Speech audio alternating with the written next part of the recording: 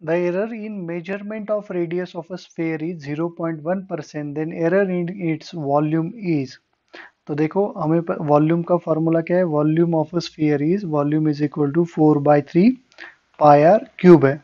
अभी एरर निकालना है हमें परसेंटेज एरर तो delta V by V into hundred that is percentage error in volume is equal to four by three five constant है, उसमें कुछ एरर नहीं आएगा।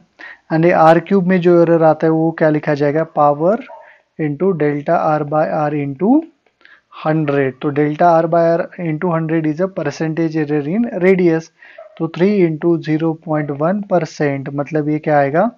ज़ीरो पॉइंट थ्री परसेंट तो option A is a correct one right